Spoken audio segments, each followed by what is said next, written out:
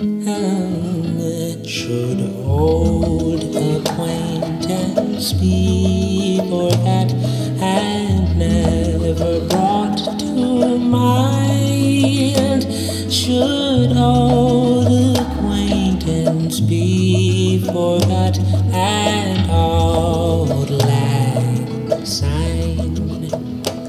For auld lang syne, my dear, for